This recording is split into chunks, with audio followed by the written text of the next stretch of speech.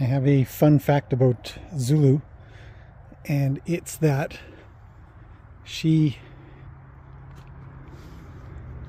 she loves usually a really good ear scratchings, and she will be all over it. She just won't.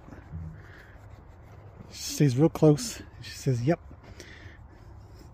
ear scratchings is the best." And in general, she's just kind of a bit of a a love bug. Right? It's just the little friendliest Standardbred rat. So there you go. A couple of fun facts about Zulu.